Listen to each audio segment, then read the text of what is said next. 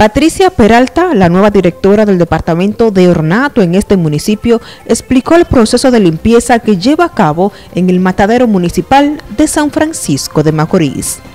Bueno, esto es un operativo de rutina, siempre se hace periódicamente. Lo que estamos es haciendo una limpieza en el matadero y sus alrededores para evitar contaminaciones, eh, demandas y cosas así. Es proceso de rutina.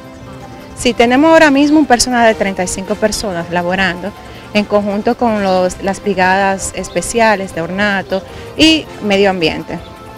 Estamos lo que es limpieza de césped, corta, poda y hay otro equipo encargándose de recoger algunos residuos y dándole mantenimiento a lo que es la parte de atrás, lo que dirían los desechos.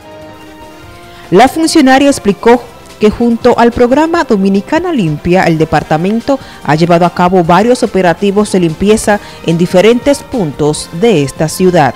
Joanny Cordero, NTN, su noticiero regional.